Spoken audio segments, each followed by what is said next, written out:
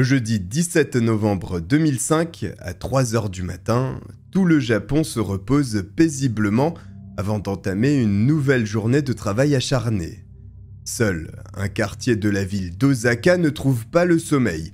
En cause, un incendie qui vient de se déclencher dans un immeuble accueillant plusieurs appartements. Les pompiers sont aussitôt contactés afin d'empêcher la propagation du brasier, ainsi qu'une potentielle catastrophe. Dans leur sillage, des agents de police font également le déplacement comme la procédure nippone l'impose pour inspecter et déterminer les raisons de ce départ de feu. Les sauveteurs sont efficaces, malgré les épaisses fumées toxiques, la chaleur grimpant en flèche chaque seconde et tous les autres risques que peuvent engendrer un incendie, ils parviennent à combattre le feu jusqu'à l'anéantir définitivement. L'intervention des secours fut nécessaire afin d'éviter une catastrophe. Pourtant, en pénétrant dans le domicile, ils vont constater que celle-ci s'est déjà produite. Deux corps humains sont découverts dans une chambre. Le premier est allongé sur le lit qui se tient dans la pièce. Le second n'est pas bien loin, puisqu'il est au sol dans cette même zone de l'appartement. À première vue, il s'agit de deux femmes. Instantanément, il est suggéré que les émanations toxiques de l'incendie ont eu raison d'elles. Mais en observant de façon plus attentive les cadavres, l'hypothèse initiale est rapidement abandonnée. Il est clair qu'il ne s'agit pas d'un accident, mais d'un double meurtre. Les policiers en sont certains, puisque les plaies présentes sur la poitrine des deux dépouilles ne laissent que très peu de place au doute. La nature sexuelle du crime est d'abord envisagée. Seulement, les agents sur place en doutent fortement. Les deux femmes sont toujours habillées. La première sur le lit portant une doudoune ainsi qu'un jean, la seconde au sol, un t-shirt et un jean aussi. Sans tous les éléments nécessaires à émettre une conclusion sur les tragiques événements s'étant déroulés dans cet appartement, les policiers pensent que le feu avait pour but d'effacer les traces que le tueur aurait pu laisser derrière lui. Les enquêteurs sur cette affaire ne le savent pas encore, mais ce qui s'est joué ce soir-là est le point final d'une affaire qui fera trembler le Japon entier.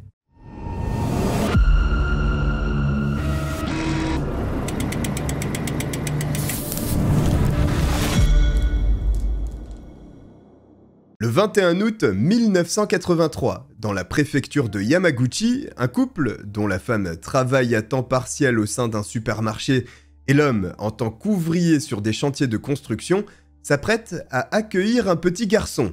À sa naissance, ils le nommeront Yukio Yamaji. La famille de trois, malgré la merveilleuse nouvelle que représente l'arrivée au monde d'un enfant, n'a pas une vie aussi rangée que l'on pourrait l'espérer. En réalité, la mère de Yukio a déjà connu un divorce causé par son addiction au pachinko. Il s'agit d'un jeu d'argent très addictif, apprécié par une grande partie des Japonais, il suffit d'insérer des petites billes dans un plateau en espérant qu'elles tombent dans les trous gagnants en contrebas de celui-ci. Si c'est le cas, la machine délivre un certain nombre de billes supplémentaires en guise de gain. À la fin d'une partie, le nombre de billes représentera la somme qu'il est possible de récupérer au guichet. Quoi qu'il en soit, ce jeu a coûté le mariage de la femme, qui a rapidement trouvé un autre prétendant, et presque tout logiquement, dans une salle de pachinko. Au gré des années, la situation se dégrade. Le père de Yukio est malade, son foie ne fonctionne presque plus, et il n'a pas l'intention d'en prendre soin, puisqu'il boit énormément durant toute la journée, ne pouvant travailler à cause de cette pathologie justement. Son alcoolisme chronique génère de la violence, l'homme n'hésitant pas à lever la main sur sa femme ainsi que son petit garçon, c'est pour ça que, régulièrement, la mère de Yukio conduit l'enfant chez les voisins pour qu'il puisse s'y réfugier quelques instants. Hormis ceci, la mère de Yukio n'est pas beaucoup présente pour son fils. Son addiction au jeu d'argent n'ayant jamais disparu, elle passe une quantité de temps phénoménale devant les plateaux de pachinko après le travail. Bien que l'environnement dans lequel baigne sa famille ne soit pas des plus réjouissants, Yukio ne reproche rien à ses parents. En revanche, il est très introverti à l'école, ce qui conduit à de nombreuses brimades de la part des autres élèves. C'est une des raisons pour lesquelles il préfère être chez lui avec son père et sa mère. En janvier 1995, alors que l'enfant est âgé de 11 ans, Il rentre du collège, puis constate que son père ne semble pas en forme. Si bien que l'homme se trouve au sol, éprouvant les plus grandes difficultés du monde à se relever. Yukio lui vient donc en aide. Tandis qu'il s'apprête à le faire basculer sur le canapé, son père se met à vomir du sang. Paniqué, le garçon appelle sa mère à la rescousse. Celle-ci, encore au travail, dit simplement ⁇ Ne t'inquiète pas pour lui, attends que j'ai fini ⁇ Une fois de retour, elle s'occupe de l'homme dont l'état est à l'évidence alarmant. Sa femme le conduit à l'hôpital mais la cirrhose avancée du mari ne lui laisse aucune chance et il meurt rapidement après sa prise en charge. Yukio est choqué par l'absence d'émotion que sa mère a pu ressentir lorsque son père est décédé.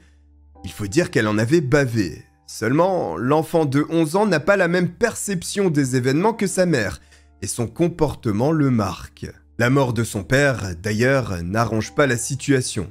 Certes, plus personne n'est battu, mais les difficultés financières sont toujours présentes. Et puis, le comportement de Yukio à l'école se détériore. Il se renferme plus encore, ne parle à aucun autre élève, et bien qu'il tente de redresser la situation au niveau de ses notes, il n'y parvient pas. Mais surtout, une haine monte en lui suite au décès de son père qui le hante.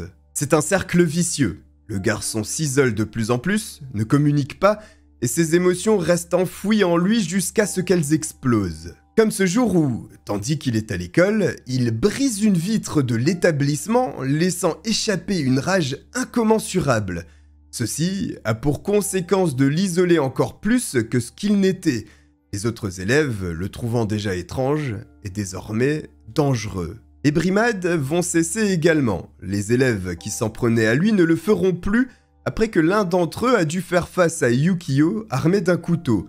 Il était prêt à en découdre pour avoir la paix, ce qu'il obtiendra après ça. Puis, c'est une forme de dépression, une démotivation totale qui s'empare de l'adolescent qui sèche un maximum de cours tout en réussissant cependant à obtenir son diplôme de fin d'études alors qu'il est âgé de 16 ans. Bien entendu, ses rapports à l'école étant si désastreux, il est hors de question pour le jeune homme de persévérer, et il souhaite se libérer du poids que représente le parcours scolaire en débarquant dans le monde du travail. L'inconvénient de mettre un terme aussi rapidement à ses études est que le panel de métiers praticables en devient restreint. Seuls des emplois relativement précaires lui sont proposés, et Yukio finit par être embauché en tant que livreur de journaux. Certes, il n'a plus à subir l'environnement anxiogène de l'école, mais il ne sera pas totalement indépendant, puisqu'il participe à financer les dépenses du foyer qu'il compose avec sa mère, et presque tout son salaire lui est reversé. Durant son temps libre, Yukio s'occupe comme il le peut, et il apprécie passer du temps dans un magasin de jouets de la ville de Yamaguchi. Un jour, tandis qu'il traîne sa carcasse dans le magasin, il repère une jeune employée dont la beauté fait chavirer son cœur dans l'instant. Prenant son courage à deux mains, il lui adresse la parole, à nouveau le lendemain, puis les jours qui suivent. C'est ainsi qu'une romance se développe entre ces deux personnes qui désormais forment un couple. Seulement, Yukio n'est âgé que de 16 ans, alors que la fille qu'il aime en a 22. Cela ne change pas l'état de leur situation amoureuse, mais la mère de Yukio remarque que cette jeune femme voit son fils régulièrement tout en comprenant qu'il ne s'agit pas d'une simple amitié comme ce que lui a décrit l'adolescent. Quoi qu'il en soit, la vie de Yukio semble prendre une tournure plus agréable que ces dernières années. Il a quitté un système scolaire qu'il haïssait, il gagne son propre argent et a même une petite copine. Pourtant, toute cette situation va basculer.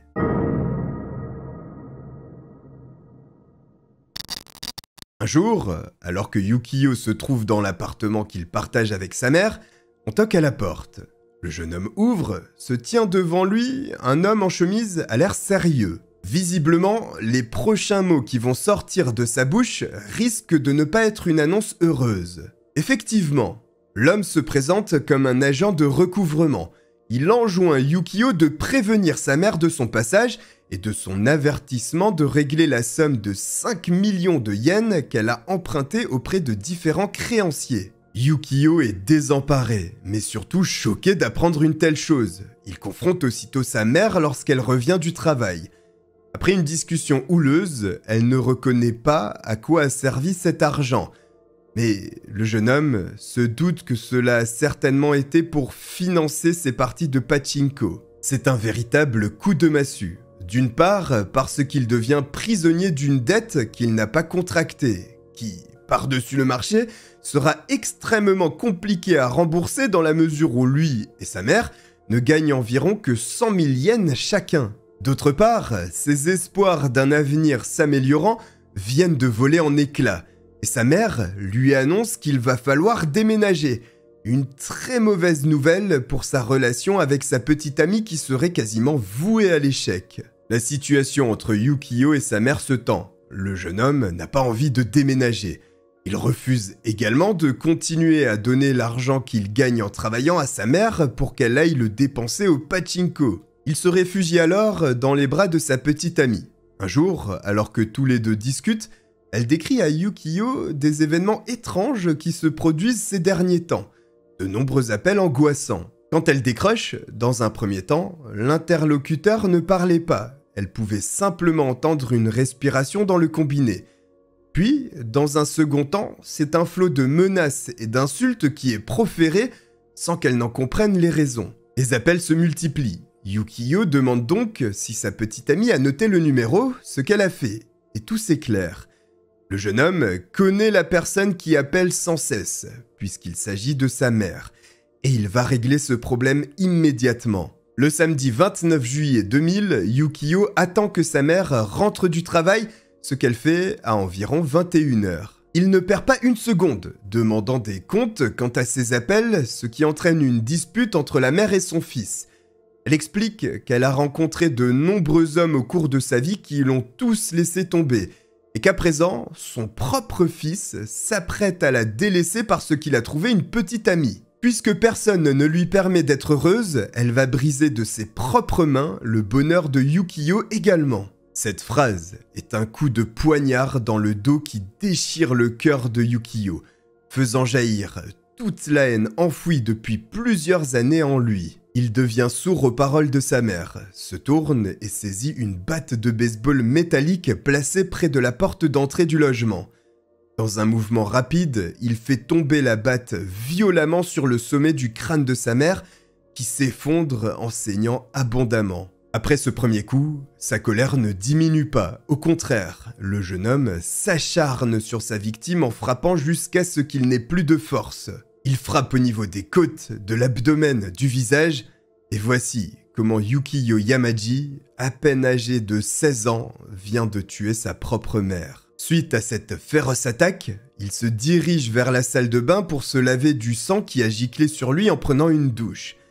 Il n'a pas l'intention de fuir, mais patiente deux jours avant de saisir le téléphone, sans trembler, presque calme, et d'appeler la police, à qui il décrit les événements qui se sont produits. Lorsque les policiers arrivent sur le lieu du crime, ils procèdent à l'arrestation de l'adolescent après avoir découvert l'horreur dans l'appartement et le corps de la mère de Yukio dont le visage n'est plus reconnaissable tant il avait été fracturé de toutes parts. Les enquêteurs ne réussissent pas réellement à comprendre ce qui a poussé un adolescent à commettre un crime aussi violent.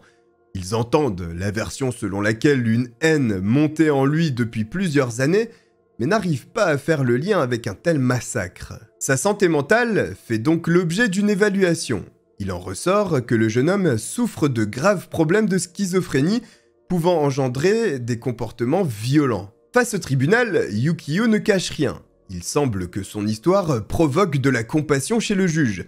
Son enfance difficile, la mort de son père, le comportement de sa mère vis-à-vis du jeu, tous ces éléments conduisent à une condamnation clémente. Yukio n'est pas jugé comme un adulte. Son attaque est considérée comme un acte non prémédité issu d'une puissante décharge émotionnelle, et le juge estime qu'il est possible de réhabiliter une telle personne. Alors, le jeune homme est envoyé en centre de réhabilitation pour mineurs à Okayama. Effectivement, ne pas détruire totalement la vie d'une personne de 16 ans en l'enfermant à vie est quelque chose que l'on peut entendre. Cependant, un meurtre violent a tout de même été commis, et aucun remords n'a été exprimé lors des interrogatoires ou face au juge, mais la sentence est prononcée et définitive. Durant son séjour au centre pour mineurs délinquants, Yukio ne fait pas de vagues, il travaille sur sa santé mentale, suit une formation en soudure et finalement exprime des excuses directement auprès de son avocat. Il dit qu'il est désolé d'avoir tué sa mère, seulement il précise aussi qu'elle lui a caché l'utilisation de l'argent et, même s'il éprouve des regrets, cela reste de sa faute.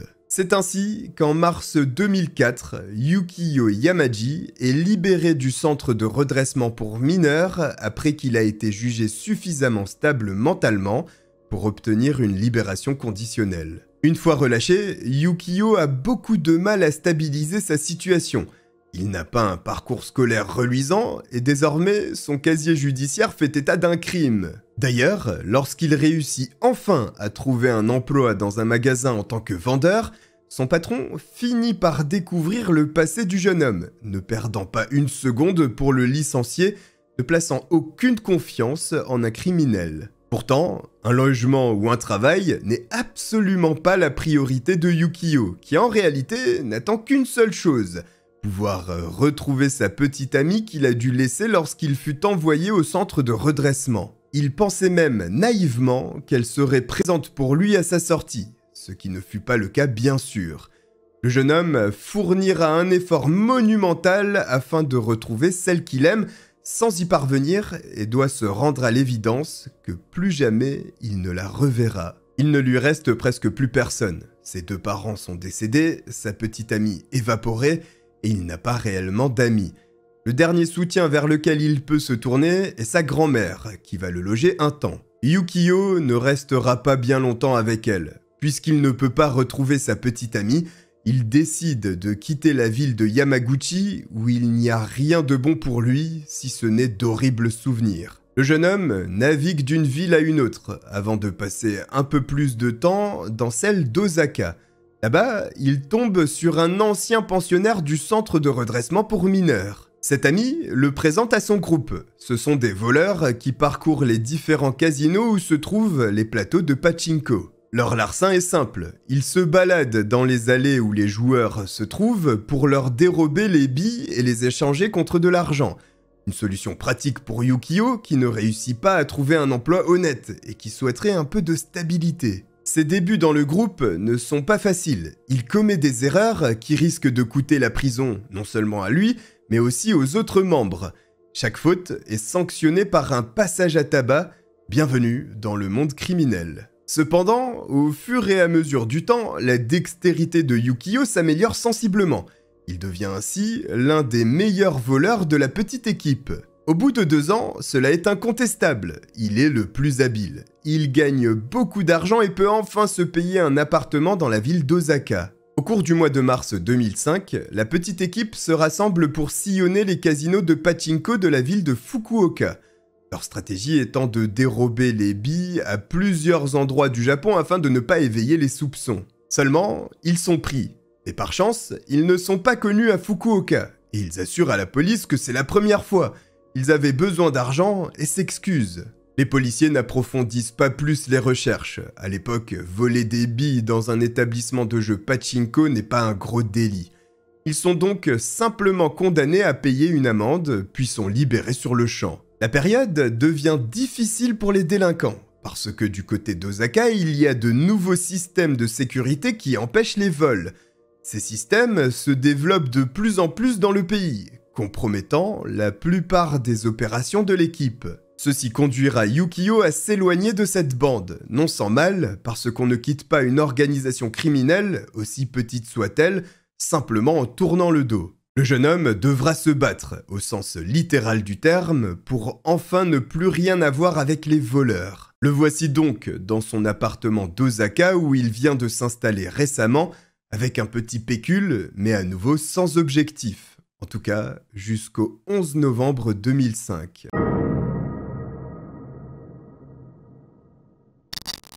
Cela fait peu de temps que Yukio a emménagé, pourtant il a déjà repéré une femme qui lui plaît vivant dans un appartement voisin.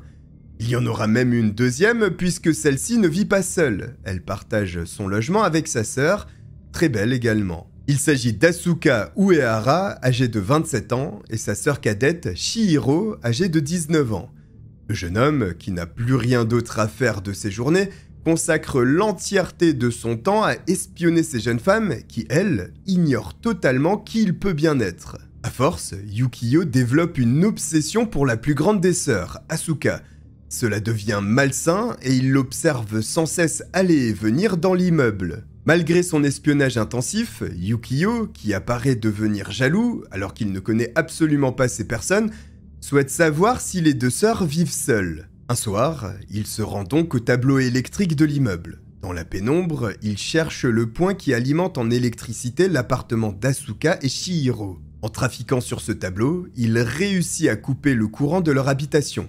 Il en profite pour se renseigner et savoir si les deux sœurs vivent seules dans leur domicile. Nécessairement, avec le manque d'électricité, elles sortent pour comprendre.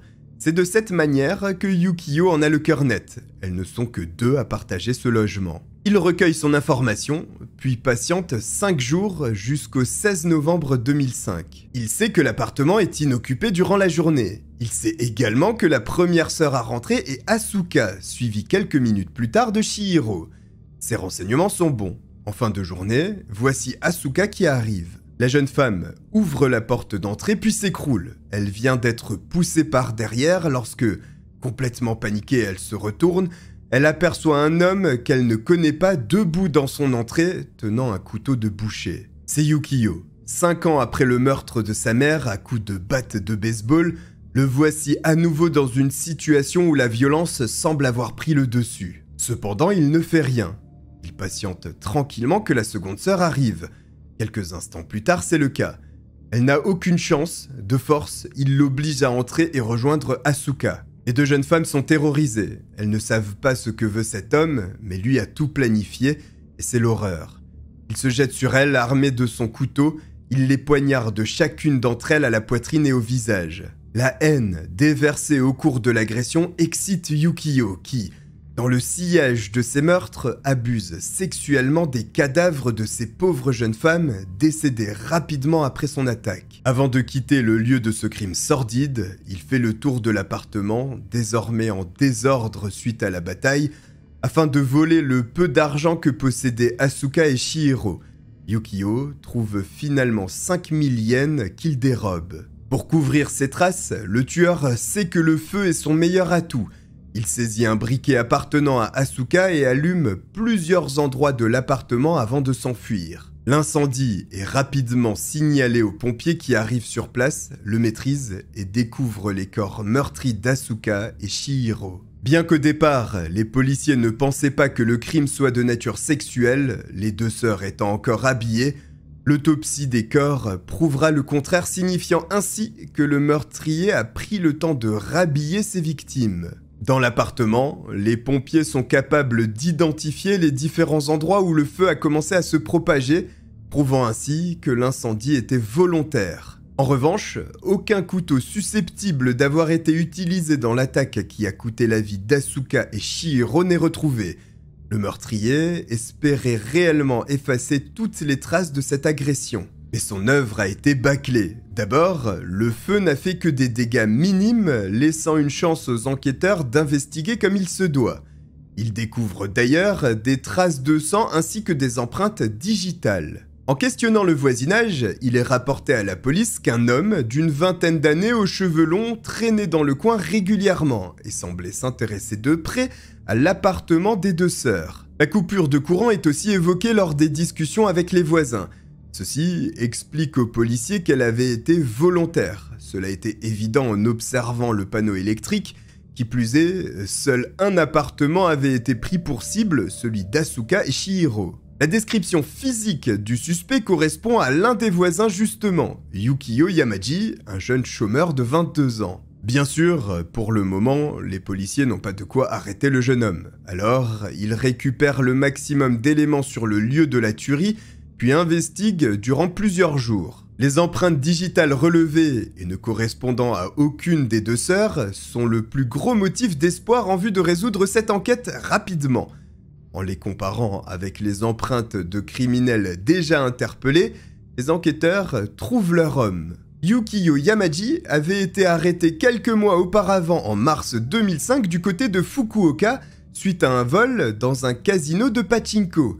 Sa description correspond tout à fait aux témoignages récoltés auprès des voisins. Sans plus attendre, le 5 décembre 2005, afin d'éviter la fuite du tueur, les policiers retournent à l'immeuble des sœurs Uehara pour placer en état d'arrestation Yukiyo. Le jeune homme est installé dans une salle d'interrogatoire pour être questionné sur les faits. D'entrée, il nie en bloc tout ce qui lui est reproché. Seulement, les policiers ont des preuves solides. Alors, il reconnaît effectivement avoir cambriolé ces femmes sans être pourtant l'auteur des meurtres. Bien entendu, cela n'a pas de sens. Les policiers disposent de tous les éléments nécessaires pour le faire craquer, et rapidement, Yukiyo Yamaji avoue le double homicide ainsi que les viols. Il faut donc tenter de comprendre pourquoi Asuka et Shihiro furent les cibles choisies par Yukiyo. Les mots du meurtrier marquent les esprits de ceux qui l'interrogent. Il dit notamment ⁇ Je les ai tués parce que cela m'amusait beaucoup. Je ne pouvais pas oublier le sentiment que j'avais ressenti lorsque j'ai tué ma mère. Je voulais voir du sang à nouveau. Quand j'ai retiré le couteau de la poitrine de l'une des sœurs, mon excitation est devenue extrême et j'ai eu une érection. Il ajoutera qu'en réalité cela aurait pu tomber sur n'importe qui. Il voulait simplement ressentir une nouvelle fois la sensation d'ôter la vie à un être humain. L'arme du crime utilisée est un couteau de cuisine appartenant à Yukiyo, dont il se serait débarrassé dans un sanctuaire situé à quelques centaines de mètres de son appartement. Des agents sont envoyés pour vérification, et effectivement, l'arme du crime s'y trouve, ce qui met fin à la phase d'interrogatoire.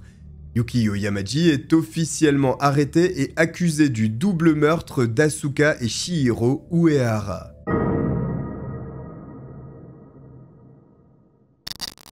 C'est en 2006 que le procès de Yukiyo Yamaji démarre. La démonstration de sa culpabilité n'est pas l'enjeu principal, tant les preuves indiquant qu'il est le tueur sont nombreuses et solides. Par exemple, seul le meurtrier aurait pu savoir où se trouvait l'arme du crime.